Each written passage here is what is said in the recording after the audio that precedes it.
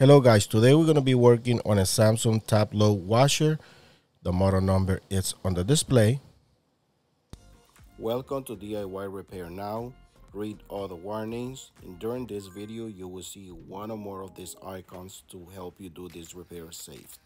The complaint that we have with this washer is that it's off balance, it's shaking and it's banging on the washer cabinet.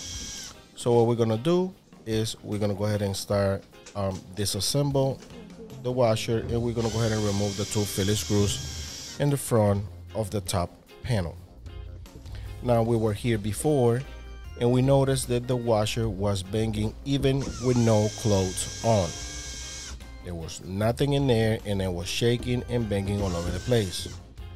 Now the first thing we checked it was the uh, drum and tub and those parts look like they were okay. So we're gonna replace the shocks.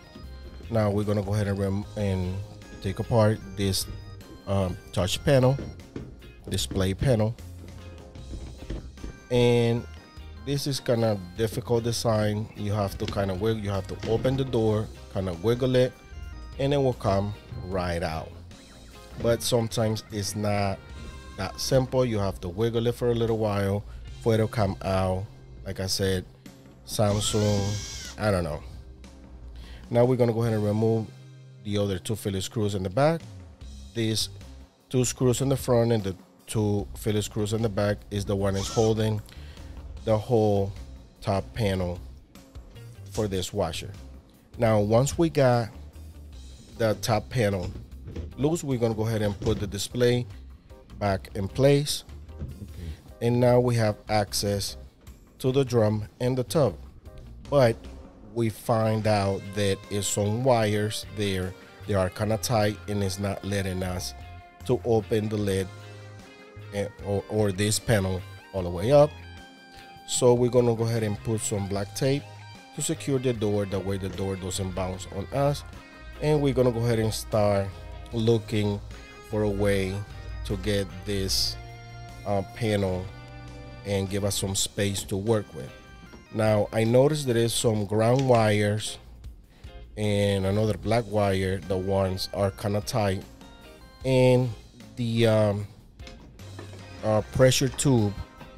So we're gonna go ahead and try to figure out what we can do to have more access to lift the panel, this top panel, all the way up. That way we have access to the uh, shocks. Now, this is a clamp where it's holding a ground wire. I removed that. There's that's no big deal. If you want to put another strap there, it's fine. Or if you want to leave it alone, it's fine as well because I end up uh, disconnecting the wires in another place. Now we're gonna go ahead and remove this. You have to do remove these ground wires because, like I said, those wires are preventing the panel to go where it need to be to have access um, to the drum and the top. We remove the other ground wire in the other side. And now there's another wires right there. They are very tight. So I already disconnected as you see right there, but that's gonna be kind of tough to put it back up because like I said, there's no there's no space there. So I'm gonna have to go to the back panel to put it back. But I already got it.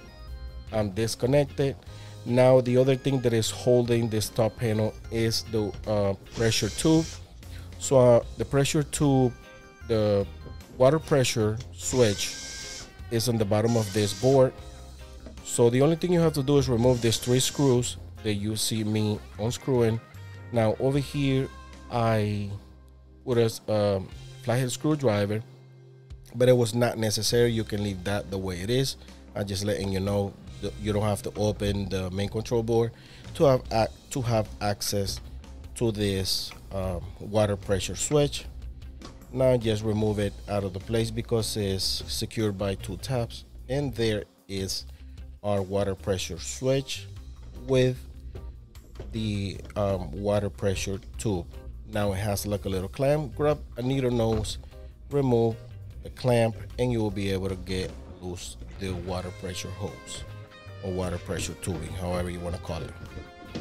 Now I believe we're gonna be able to lift this panel and have access to the shocks. As you see now I have to I got everything loose. You see those wires hanging right there? Later on in this video I'm gonna go ahead and show you the best way to plug it back in because it's not that simple you have to remove the back panel in the back. Now this is the new parts. This is the new shocks. If you want to buy these shocks if you have the same model there's gonna be a link in the description of this video. So just go there click it and you will be able to find this part. There's the part number as well. So you can browse from there. And again it's a link in the description of this video here's the first shock so we're gonna go ahead and remove the first one i'm gonna go ahead and start in this one the front right and I noticed that this shocks has some kind of grease, but it's kind of, I don't know, it was very sticky. It's like glue. So I don't know what type of grease is that or lubrication, but it was like a glue. It was too sticky. I have to wash my hands like three times to get it off me. But you know, I I bet you guys seen this thing before, and if you don't, you're already prepared to um, this situation. Remember, there's sharp edges on this washer, so try to wear gloves. I know I'm not wearing any. I do this every day, so I'm kind of used to do this. But if you don't do this every day, go ahead and wear some gloves. That's the way you install shocks. You don't need to get on the bottom of the washer. You just have to lift it, move it out of the way, and then on the bottom, just move it to the side, and it will come right out very easy it's not like the whirlpool that you have to get underneath the washer to be able to remove them that was kind of cool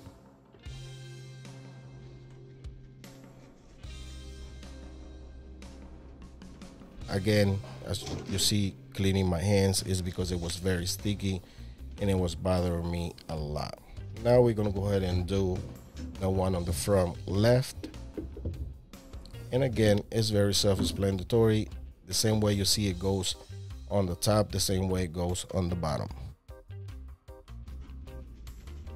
Now we're gonna go ahead and do the back left, and we're gonna go ahead and leave the uh, the back right for last because that's a little more complicated. I'm gonna go ahead and show you. For me, it was not necessary, but I'm, I'm gonna go ahead and show you if you have trouble trying to grab that um, shock. Yes, grab some uh, vice grips and as you can see I'm using the vice grip to move it out of the way it's that simple that's how you're removing really this job took a little while because this is the first time that I'm dealing with this um, cabinet on the Samsung I have done a lot of Samsung shocks but this design is kind of new. The reason why this shock goes bad is because people overload this machine. In this scenario, this machine is in a spot, so this is a commercial place, and they use it every day with heavy towels.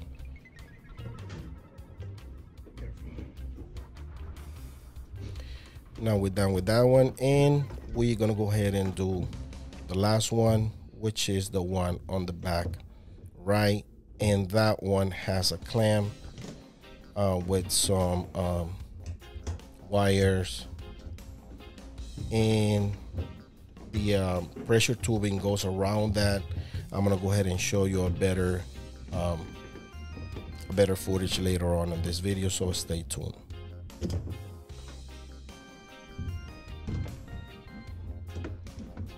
as you see I'm untwisting it to be able to get it out because they put the uh, pressure tubing around the shock and that's why I leave this one for last.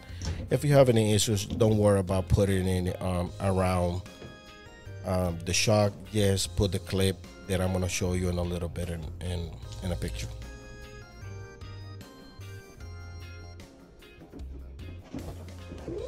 Now I'm grabbing the last shock and like I said you can get this uh, the link of the description of this video. You can get it on Repair Clinic, Amazon, and eBay.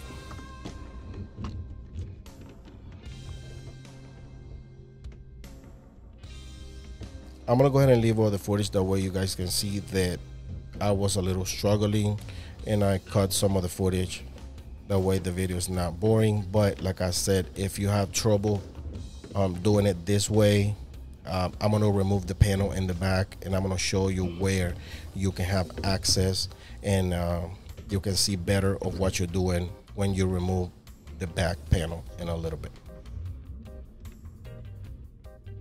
As you see I put exactly like the other one was it's just that the camera didn't catch that because it, you know, I got very limited space.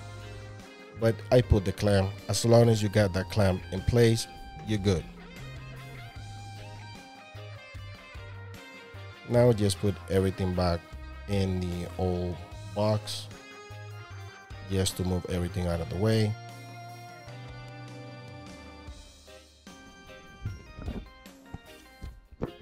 Now in this footage i'm trying to connect those wires but like i said it was too tight. It was no way to do it that way and i don't want to risk uh, to break any wires or any harnesses so I went to the back and I removed the back panel. There's four screws.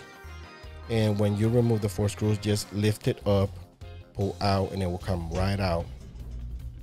And as you can see right there, there's the two wires that I was able to disconnect, but it was hard to uh, connect it back in place. And I just removed the panel to make my life easier. And there we go.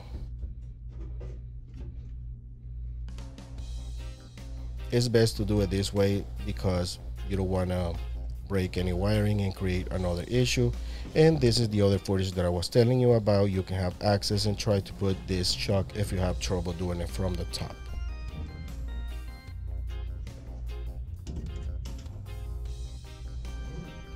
Once you got everything connected and make sure everything is right just put the panel back up and go ahead and put the two slacks in the top first and then the two in the bottom just slides back in place now go ahead and install the four screws that you already um, that you removed earlier to secure the back panel.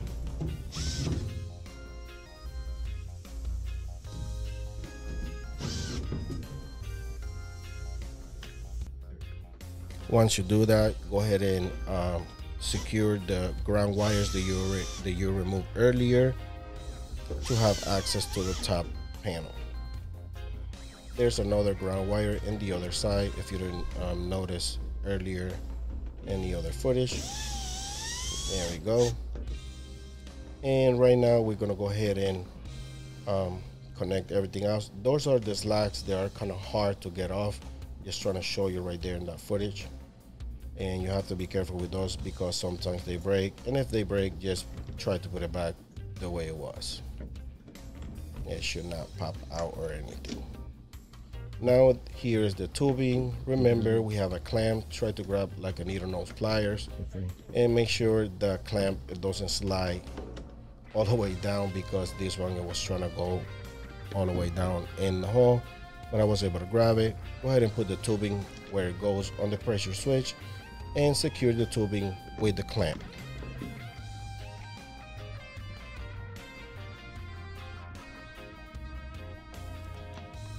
As you see, I'm grabbing the uh, clamp with the needle nose pliers to secure the tubing in place.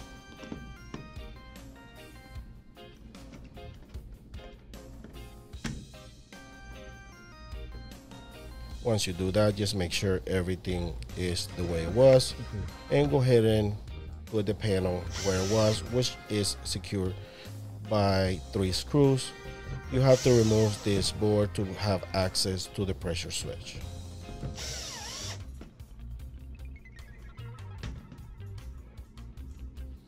Once you do that, go ahead and put the two Phillips screws that are secured in the top panel, the two Phillips screws in the back.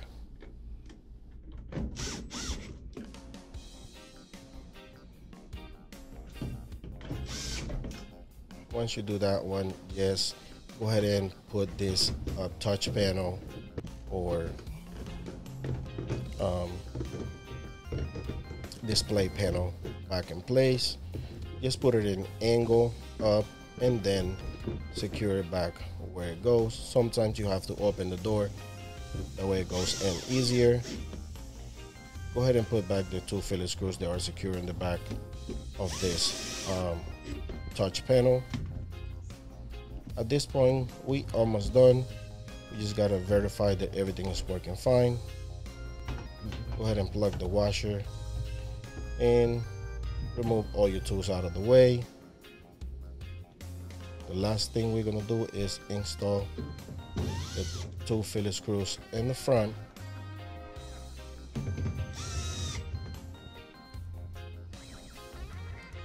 And put the covers back in place.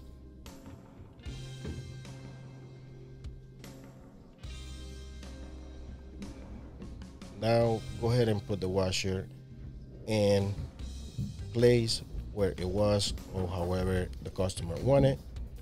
And go ahead and start doing some testing. Again this washer was banging all over the place when we got here. This washer is used as a commercial washer because this is a spot in the wash. Towels heavy towels every day. People don't realize that these machines are made to work as um you know for household. And you can see the big tub right there but that doesn't mean you can overload it. You're not supposed to overload the washer but the people when they don't see the um, metal agitator they think that you can put many clothes it fits in there and not, that's not the way it is. You have to read the paperwork. That way you can use the machine um, the right way. And right now we're going to go ahead and put a spin yeah spin and rinse. Or spin only. Now this is a tip.